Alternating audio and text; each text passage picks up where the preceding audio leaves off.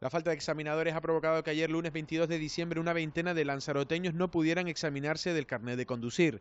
La falta de examinadores de la oficina de tráfico de Arrecife ha provocado que, por ejemplo, la autoescuela Volcán, la mayor de la isla, no pudiera presentar a sus alumnos a pesar de que estaban convocados para la jornada de ayer. El problema es que estos alumnos se les pasará el próximo 29 de diciembre y todavía no es seguro que puedan examinarse. Día 29, los de día 22 han pasado para el día 29.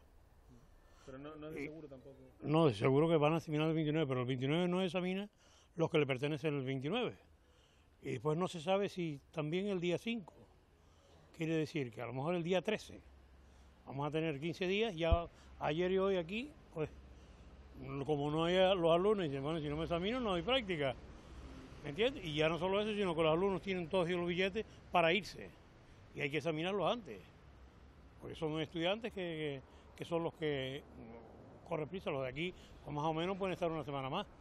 se han quedado sin examinadores, tienen tres, uno se fue de vacaciones y el otro, pues, pobre, tuvo un accidente y no, no le mandan a nadie de Las Palmas. Para el propietario de la autoescuela Volcán, la solución es sencilla. Bueno, la solución es que pongan otro examinador más dentro de, la, de las instalaciones de la, de, de la jefatura o que traiga uno de Las Palmas dos días. O sea, venga un día por la mañana y otro día se va, eh, se puede ir por la tarde y después la otra semana igual y se termina el problema. Una vez más, vuelve a quedar patente la doble insularidad y los problemas de las dependencias de instituciones externas a la isla de Lanzarote.